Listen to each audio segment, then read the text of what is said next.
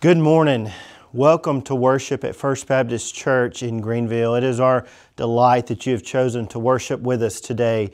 Psalm 100 and verse 5 reminds us that the Lord is good and His loving kindness and His faithfulness never ends. And so it is our prayer today that you join in with us as we worship in song, as we share in the preaching of God's Word, that you hear the Word of God spoken to you and most of all, that you respond as the Holy Spirit is calling you to.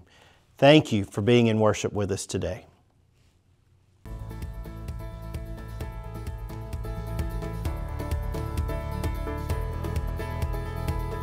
Come, let us sing for the joy of the Lord.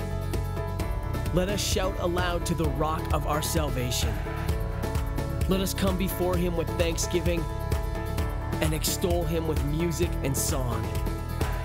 For the Lord is the great God, the great King above all gods. In his hand are the depths of the earth, and the mountain peaks belong to him.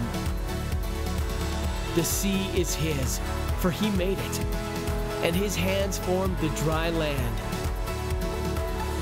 Come, let us bow down in worship. Let us kneel before the Lord our Maker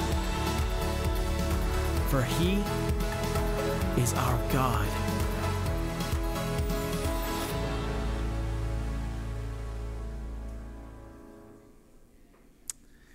Amen. We are so thankful that we get to gather on this Sunday morning and worship the King of Kings and Lord of Lords. And what better way to begin our service of worship today than with baptism?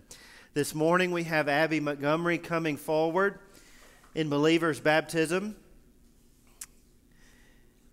as Abby made public her profession of faith a few weeks ago and uh, declared before our church that she has trusted in Jesus as her personal Lord and Savior and wants to make that decision public by following the biblical steps of baptism. And we are delighted to share this time in her life with her.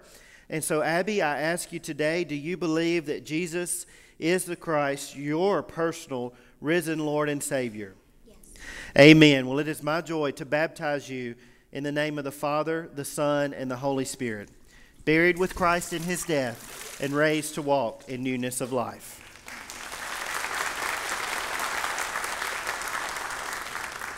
Amen. Would you join me in prayer this morning?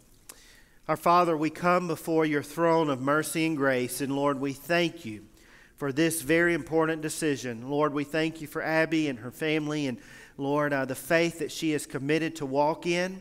Lord, we pray that as she's made this decision public, that, Lord, she would continue. You would bless her and you would, she would continue to walk in the steps of faith. And, Lord, for the great things that you would do in, through, in and through her life, we thank you. Lord, we thank you for this opportunity to gather and worship you today. Would you meet with us here? Would you be honored by the worship we give you? And, Lord, would you speak to us? Lord, we ask all of this in your holy name. Amen. It is indeed a great day to be in the house of the Lord today. We're going to sing all of our music today based on the theme, the deep, deep love of Jesus. We're so thankful that God loved us in spite of who we are, in spite of a sinner. It says, while we were yet sinners, Christ died for us. He knew we were going to be sinners and He loved us anyway. Be thankful to Him as we worship this morning. Let's start out by singing the good old hymn Praise Him, Praise Him. Jesus, our blessed Redeemer.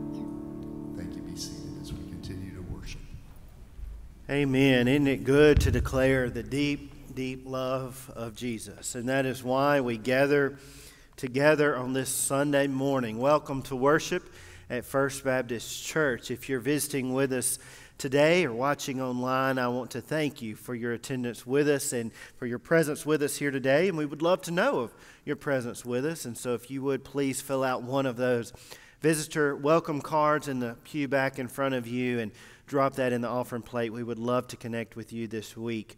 Uh, what a joy and honor it is to come together on Sunday mornings. Sometimes we can take it for granted. Sometimes we can just get in the habit and in the motion of do it, doing it.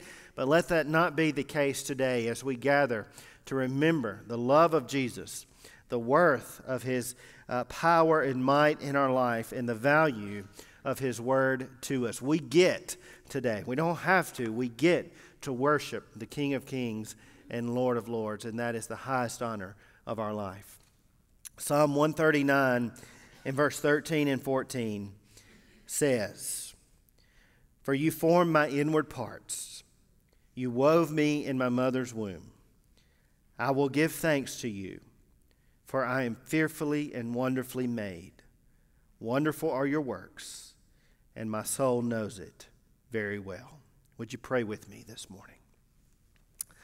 Father God, we thank you so much for the gift of life. Lord, for the gift of eternal life. Lord, what a testimony as we began our service today with baptism. We thank you for the witness of Abby sharing with the world her decision to put you first in her life.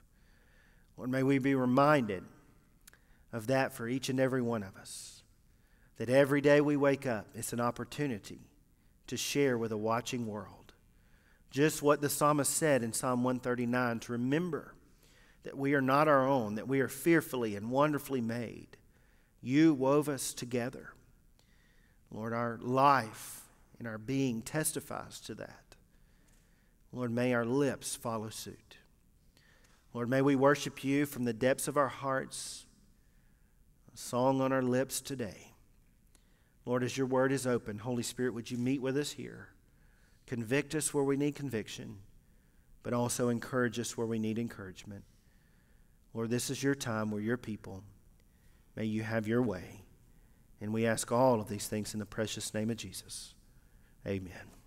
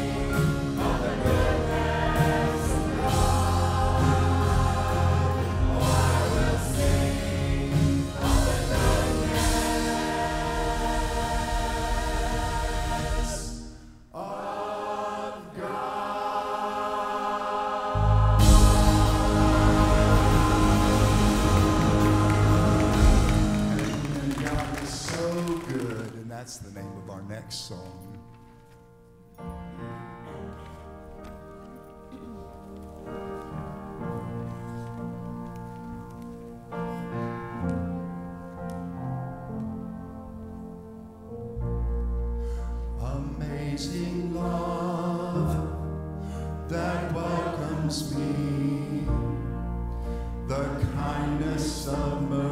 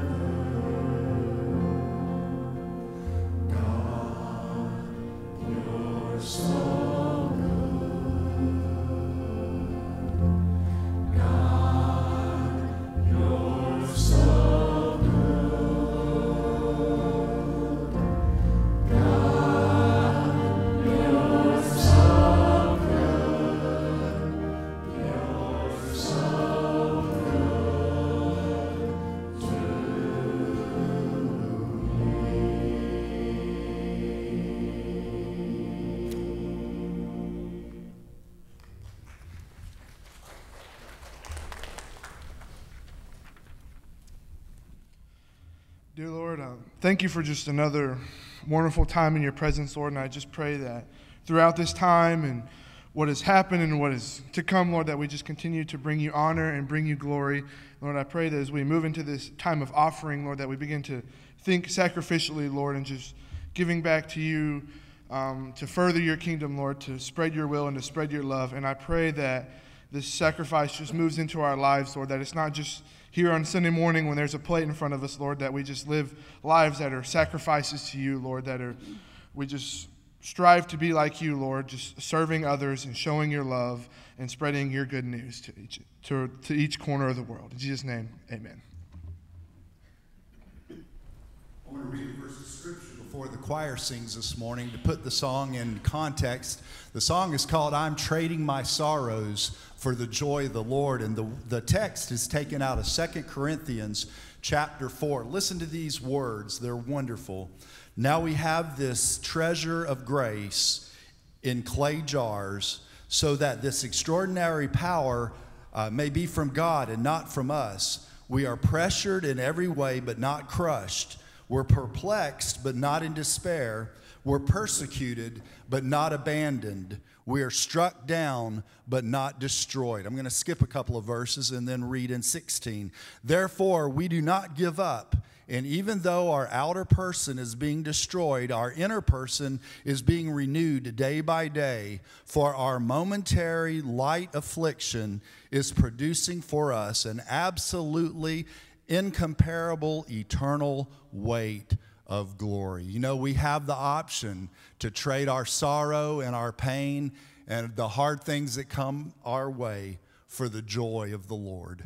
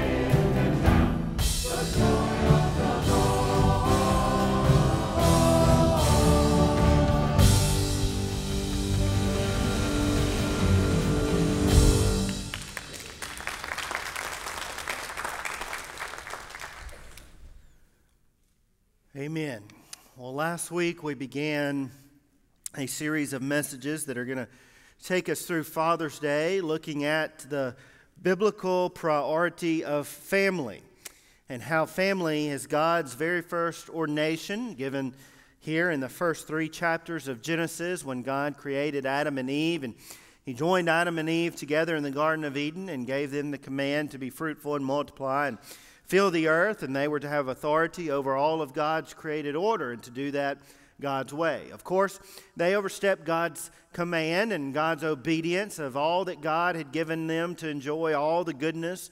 The one thing God said don't do, well, they were drawn to, and through the enticing of Satan, they overstepped that boundary and brought sin into the world. And you and I, all of humanity, have been sinners ever since. And so, we come to, to the text today. We come to the text throughout this series, and, and we want to see what does God's word say to what has been distorted for so long.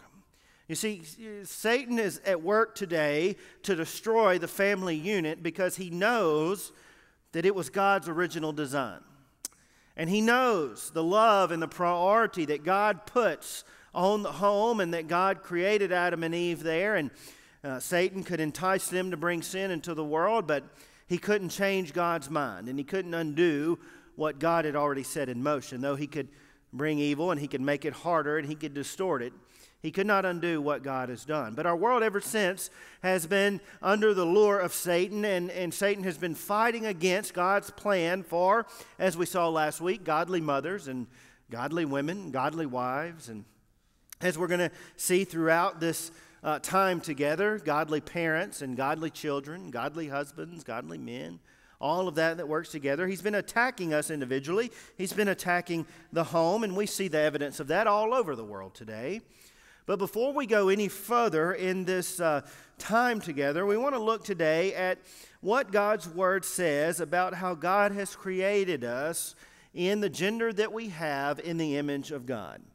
Now, I, I, told our deacons earlier this morning this is a message I thought I would never have to preach because it's so straightforward, so common sense maybe to us, but so such an attack on God's word and godly principles in the world today.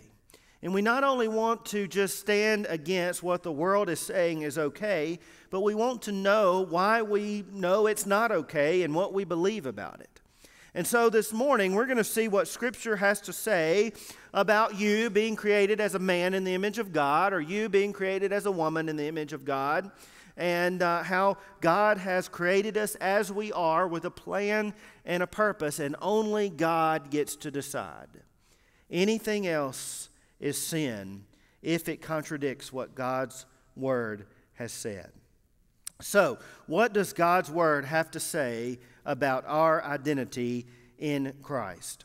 Look with me beginning at verse 26 of Genesis chapter 1. And the Word of God says Then God said, Let us make man in our image, according to our likeness, and let them rule over the fish of the sea, and over the birds of the sky, and over the cattle, and over all the earth, and over every creeping thing that creeps on the earth. God created man in his own image. In the image of God, he created him. Male and female, he created them. God blessed them, and God said to them, Be fruitful and multiply, and fill the earth and subdue it, and rule over the fish of the sea, and over the birds of the sky, and over every living thing that moves on the earth. Then God said, Behold, I have given you every plant yielding seed that is on the surface of all the earth, and every tree which has fruit yielding seed, it shall be food for you. And to every beast of the earth, and to every bird of the sky, and to everything that moves on the earth which has life, I have given every green plant for food, and it was so. God saw all that he had made, and behold, it was very good. And there was evening, and there was morning, the sixth day. What does this passage tell us about God's plan for gender identity, even in the world today? What does Scripture have to say about this topic? Well, first of all, we see that God's image is always the source. God's image is the source. The very image of God is the source. We have to begin with God. In fact, I want us to go back to chapter 1 and look at the very first verse of the Bible. In fact, the very first phrase of the Bible, and we need, no, need go no further. In Genesis 1 1, the Bible says, In the beginning, God. Now, I just want to stop right there and say, In the beginning, God. Now we know that he goes on to say that God created the heavens and the earth, and, and Genesis chapter 1 is going to be filled with all that God created until we get to the sixth day where God creates man and woman in his image. The only two beings created, the only thing in created order created in God's image was man and woman. And God created them, and he said it was very good. And after God did that, he rested on the seventh day. But we go back to Genesis 1 1 because if you don't believe that, then nothing else in the Bible eh, makes sense to you. If you don't believe Genesis 1 1, in the beginning there was God, and only God in the beginning, then there's no re- reason to go to the Gospels and read about Jesus. If you don't believe Genesis 1 1, then there's no reason to believe that Jesus was a good person. If you don't believe Genesis 1 1, there's no reason to believe that Jesus died on the cross for your sin and rose from the dead to give you eternal life. If you don't believe Genesis 1 1, then there's no reason to, to, to take to heart all that we've been looking at almost the last year in Hebrews about the superiority and sufficiency of Jesus and his authority over the created world. If you don't believe Genesis 1 1, then there's no reason to believe Revelation and the fact that Jesus is coming back. In fact, I want to go a step further and say if you don't believe Genesis 1 1, then there is no reason to believe that you have heaven waiting for you after you exit this life. You say, why do you say that? Well, I say that because all of that that I just said follows Genesis 1 1. If you don't believe Genesis 1 1, then there's no reason to believe everything else that follows it. But the contrary is also true. If you believe Genesis 1 1 and that there was a time in eternity past that nothing existed except God. Our human mind cannot comprehend that, and that's why God is God and we are not. You know, there has to be things about God that make God God and separate from everybody else. And our world today wants to make a rational sense of everything and understand everything, but let me just tell you, you will never understand God fully. You'll never understand what it's like to that, that God has existed forever in eternity past.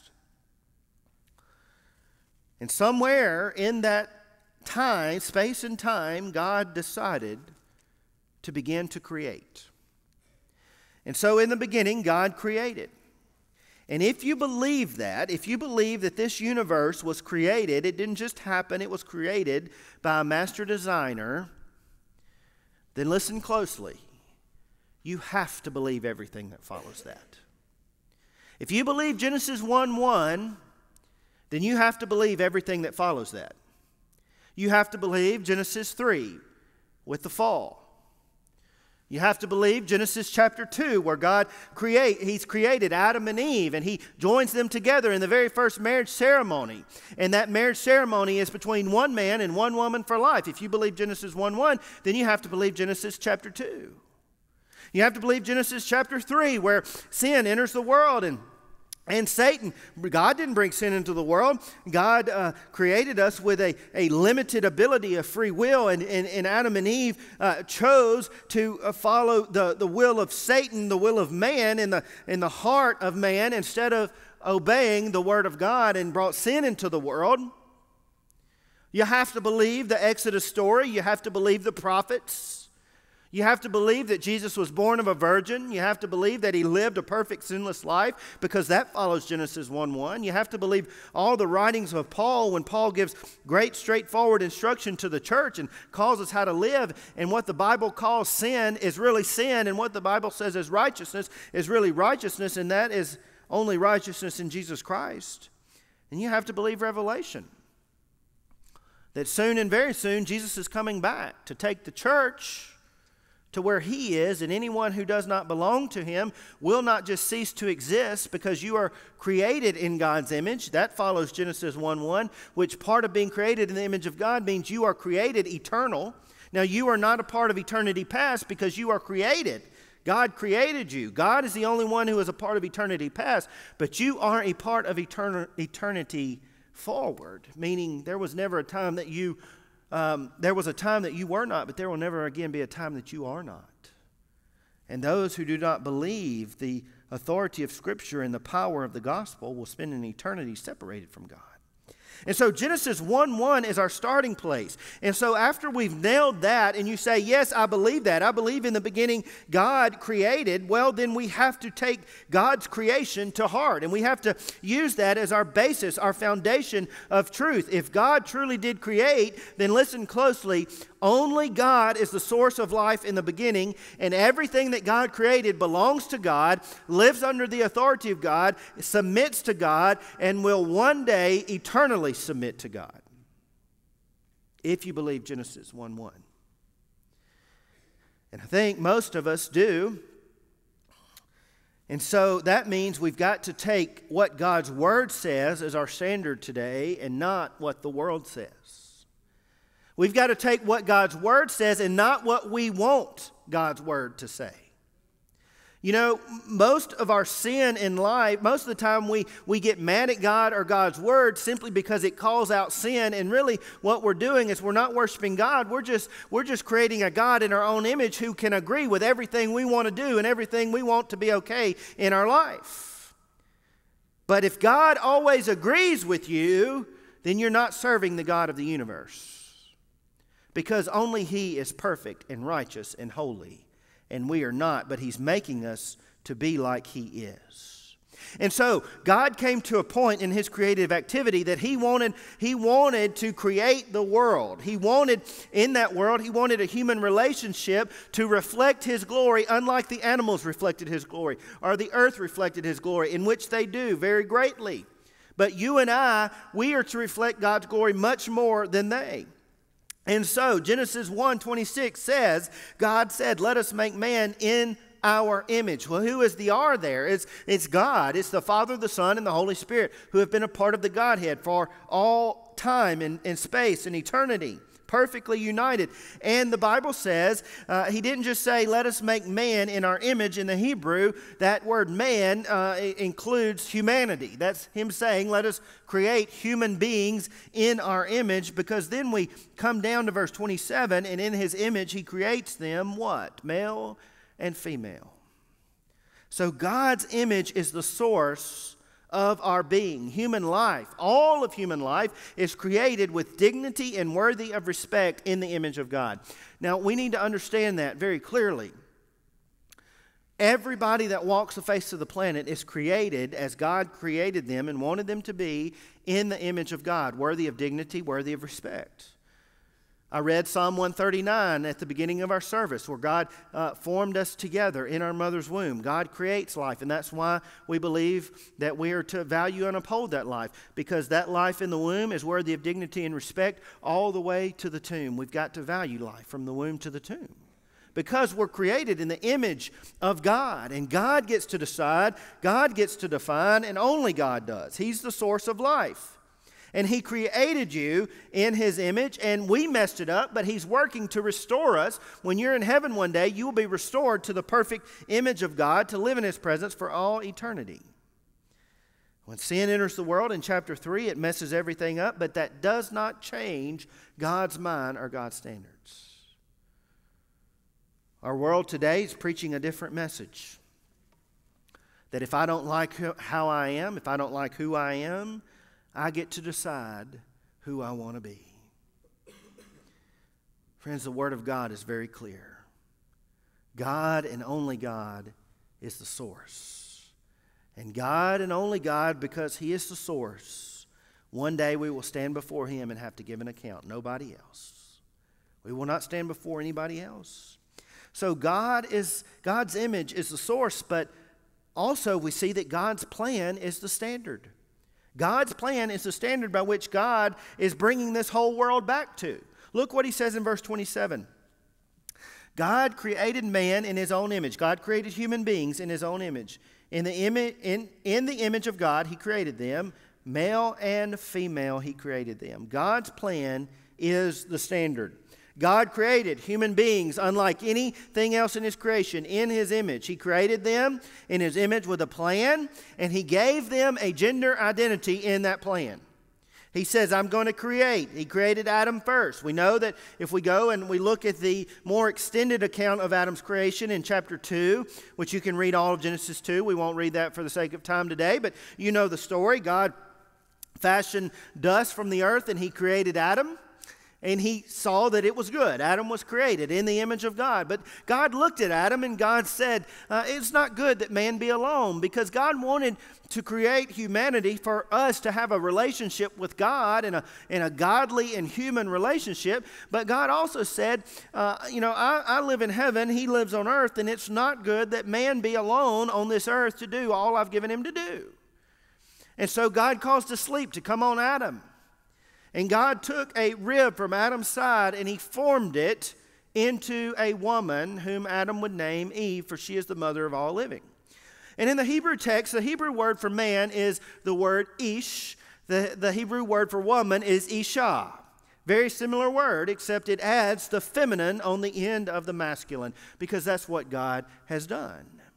God has created human beings in his image, a lot of like in their form and, and appearance. They, they, uh, they're very much the same in the fact that they're both human beings, but at the same time, they're very different. Created in God's image, still, both, but a man and a woman. And God joined them together in the only relationship in all the world that God would ever say two individuals now become one. And that's God's plan for every godly marriage. You're no longer two, but you're one. And this was God's plan. It is the standard. It was the standard back then. It's been the standard all throughout the Bible. And let me tell you something the world says marriage is outdated, and godly marriage is certainly outdated, but it's still God's standard today. It's not. It's not. How we have drifted from God's standard today, but God created Adam and Eve to be united together as one to be one, to complete each other in ways, to live in harmony and peace with each other. You can veer from God's standard all you want to. But one day, let me, let me be very clear one day, everything is working its way back to God's standard. This world has drifted far from God's original plan.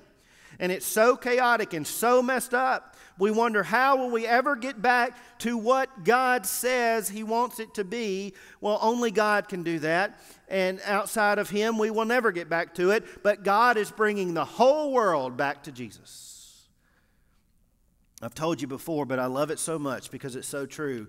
Adrian Rogers used to say, people ask, what, is, what in the world is this world coming to? And he said, let me tell you, I know what it's coming to. It's coming to Jesus. Good or bad, the world's coming back to Jesus and we'll have to give an account to him. And Genesis 1 1 will still matter. Genesis 1 27 will still matter. Genesis 2 will still matter. Even though Genesis 3 took place. You can veer from God's standard all you want to, but everything is coming back to God. God will judge based on His standard and nobody else's standard. God doesn't need somebody else there helping Him judge the world.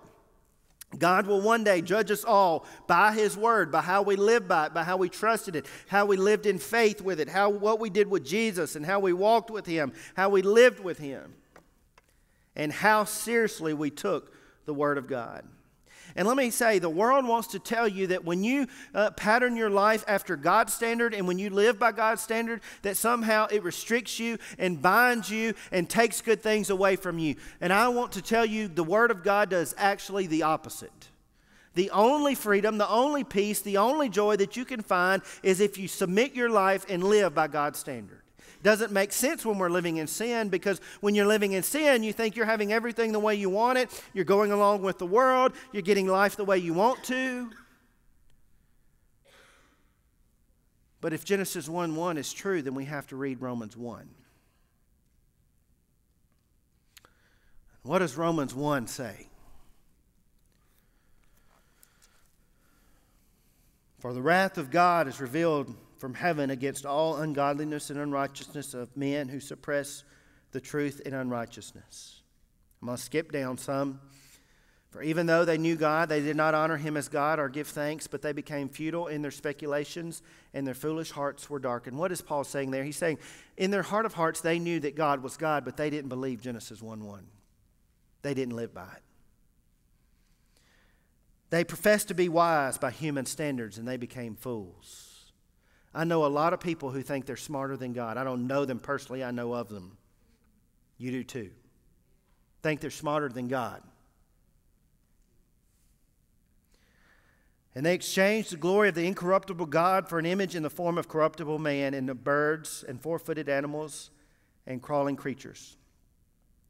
Therefore, God gave them over in the lust of their hearts to impurity so that their bodies would be dishonored among them.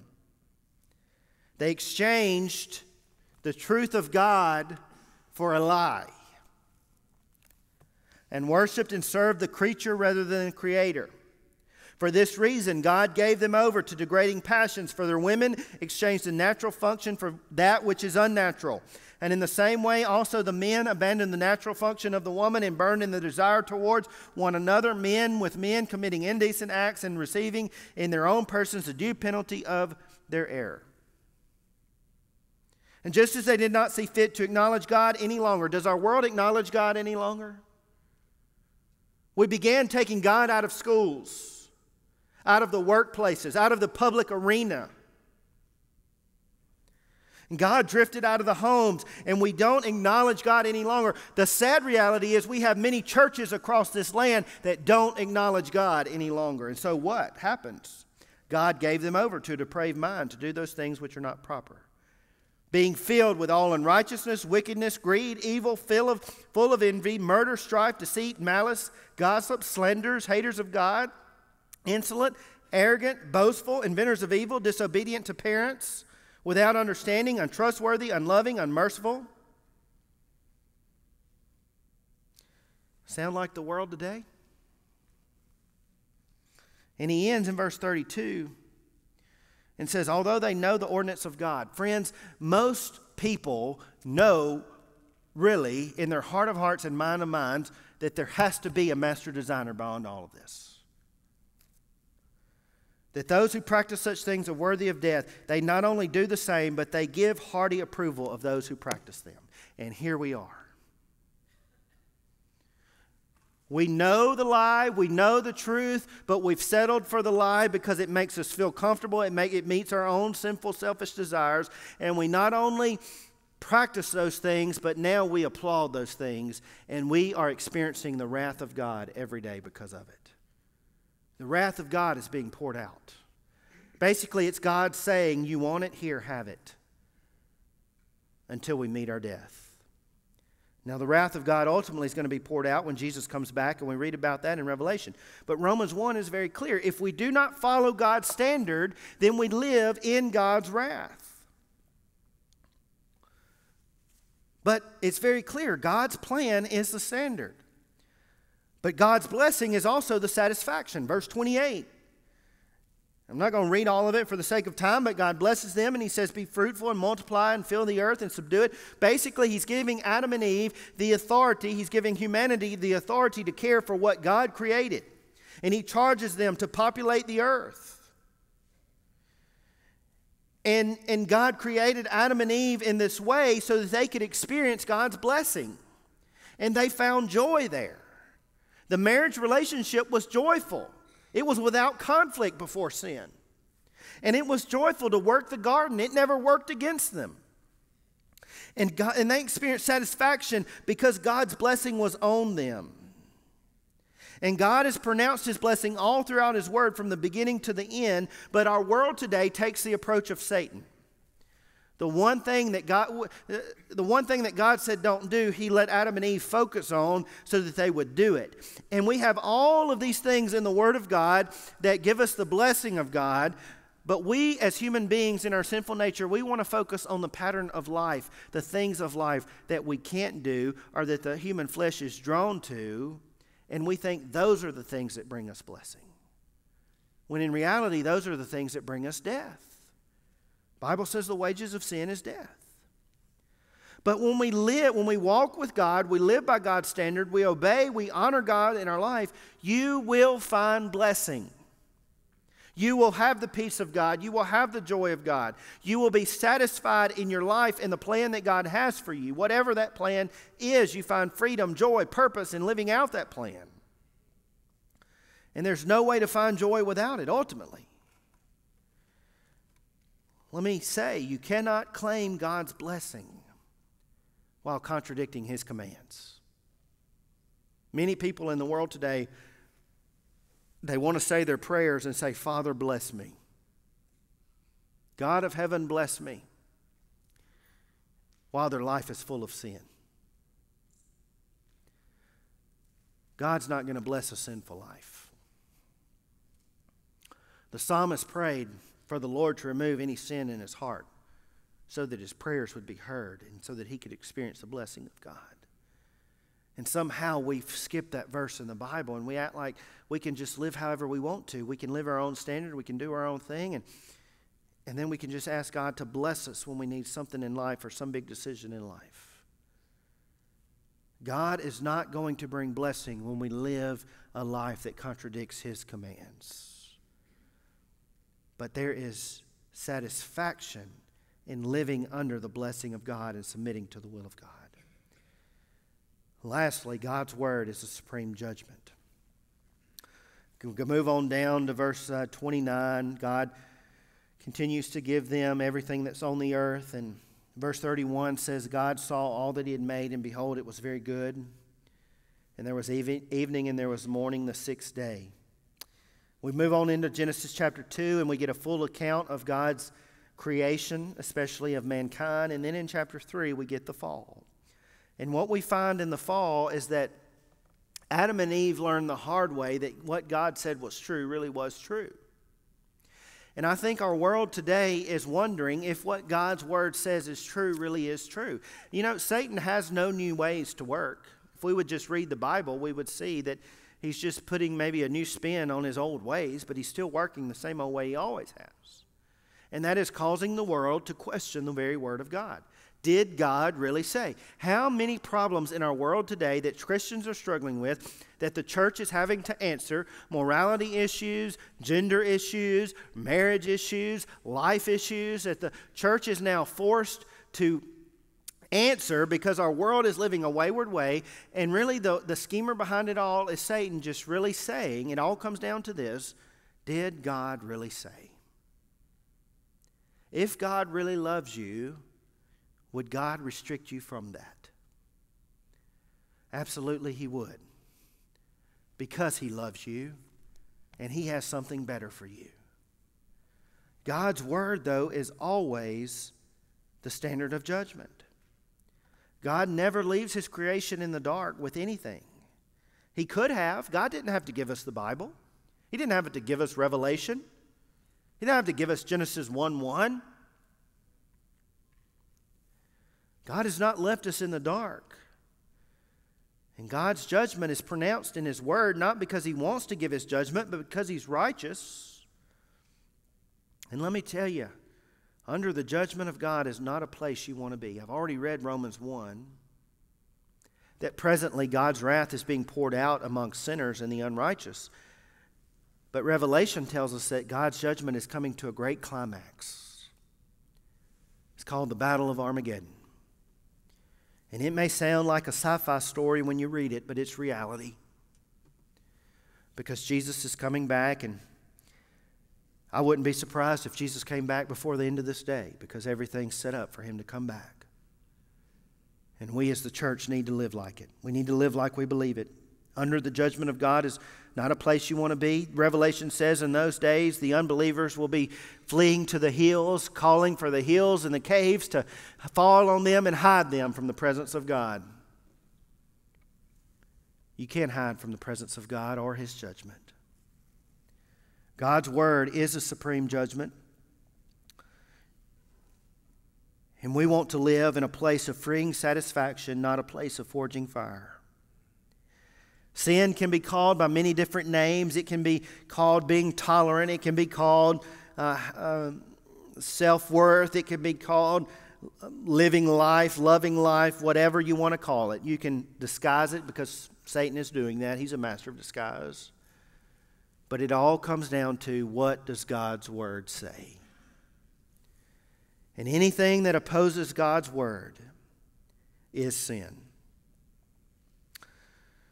As I was preparing this message and I was thinking about how simple God's design for humanity is, that in the beginning, God said something that really should make common sense to us is that when you're born, You're assigned an agenda, a gender before you're ever born. And when you're born, you're either a boy or a girl. Genesis 1 says that. God created a male and female. You don't get to decide that. The world can tell you that all day long, but we don't get to decide that. God has determined that. And I was thinking just about the simplicity of that and how crazy it is that our world has gone so far from that and lost all common sense because the world hates God so much. And what we as Christians are told is to keep our mouth shut and not talk about the Bible because the Bible contradicts what the world is living in. And we just need to be quiet so we don't hurt people's feelings. Well, there's somebody more important whose feelings I'm worried about hurting. And his name is God. And we live in a world that wants to be so tolerant and walk on eggshells because we might hurt somebody's feelings. How do you think God feels? How do you think God feels? Why do we get to leave him out of the equation? Genesis 1 1 says, without him, you wouldn't be here. Genesis 1 1 says those people that said that, that we need to, to, to worry about feelings, they wouldn't be here. In fact, the only reason that they that any of us get up and have breath in our lungs in the morning is because God allows it. So if we take God out of the equation, God can take us out of the equation like that. And I think it's past time in our world today that the church, yes, we're called to be loving. Jesus said, By your love, the world will know you belong to me. But let me tell you something the most hateful thing you can do for a person is to let them live a lie. The most hateful thing you can do for a person is let them continue living a lie without introducing them to the truth. Now, you're not responsible for what they do for it, but without introducing them to the truth, sharing the truth with them, and praying that God would change their life before they meet the end of their destiny, which is if they continue in sin, and sin is defined by what God's word says, if they continue in sin, then they're going to meet eternal death. There's no other way about it. The most loving thing you can do is to tell someone the truth and help them find the truth. And friends, Jesus said, I am the way, the truth, and the life. No one comes to the Father but only through me. So if you believe Genesis 1 1, then everything that follows matters to you today. So what will you stand for? What will you stand for? As a church, we've got to be salt and light in a very dark world. We can't be afraid of speaking what God's word says. Because one day when we stand before God, this is going to be this is going to be the source of judgment. And you will find blessing and you will find satisfaction if you pattern your life after it. Maybe you're here this morning and you're struggling with sin. You're living in sin. And you know God's word is very clear. But God's word testifies to God's grace and God's mercy and God's love that if we give that up and come to Him, there is not a person that He will reject. No matter what we've done, matter what we've believed, doesn't matter how bad we've hurt His feelings or how bad we treated God. If you repent, humbly submit to Him, He will save you. And if that's you in this place or under the sound of my voice watching, then in just a moment as I close us in prayer, right where you are, right where you're doing, just get still, be quiet, and pray before the Lord that you know that you're a sinner, you know He's the way, the truth, and the life, and you want to give your life to follow Him. And in that moment, He will save you. For those of us that know we're children of God, what, what other things are we struggling with in life? Are we living in a pattern of sin? Are we failing to stand on the truth of God's word? Are we failing to be convictional Christians and live what we believe and not be afraid of sharing that with a lost world who desperately needs to hear it? May today be a day of courage for us to know if we're going to find God's blessing in the end, then we've got to live in God's conviction today. Father, thank you so much for your word. Thank you for being very clear to us.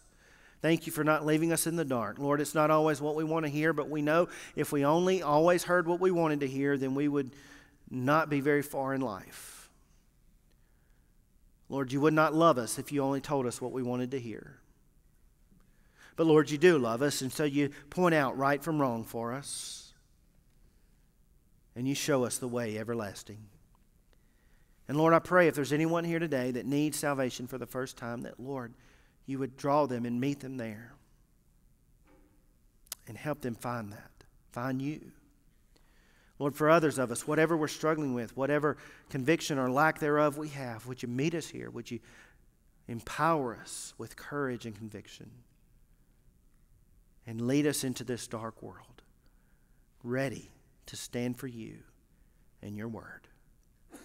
Lord, we love you. And it's all and only in these things we, in your name, we ask. Amen. I pray that God has spoken to your heart this morning as we've spent time in worship together. If the Lord has laid a specific decision on your heart, please notice the contact information there on your screen.